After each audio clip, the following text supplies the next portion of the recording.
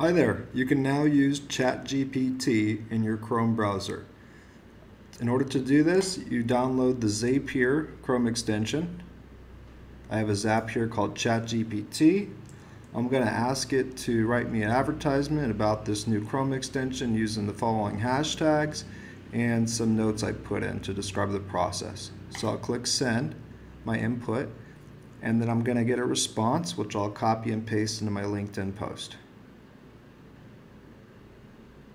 Perfect.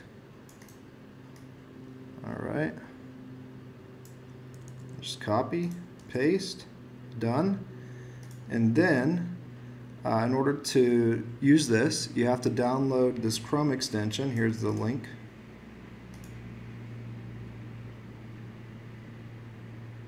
So you'll install this, and then you'll go to the Zapier template, and uh, I have it open here actually, but you'll need to uh, open it and click shared, and then you'll go to new push in Zapier Chrome extension for the setup trigger. You should have input for the input fields, and then you test the trigger. And then for the OpenAI, OpenAI, you'll have send prompt for your event. You will select your account and link it. Then you'll go to setup action, and for the prompt, you'll put in the input. You can leave the other fields the same. You'll click test action.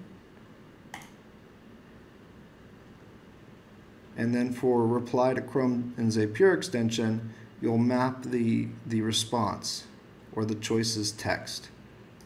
So you'll go here, set up action, and you'll put choices text. And then for the label, you can just put ChatGPT, and it'll show up as ChatGPT in your Chrome browser extension with Zapier.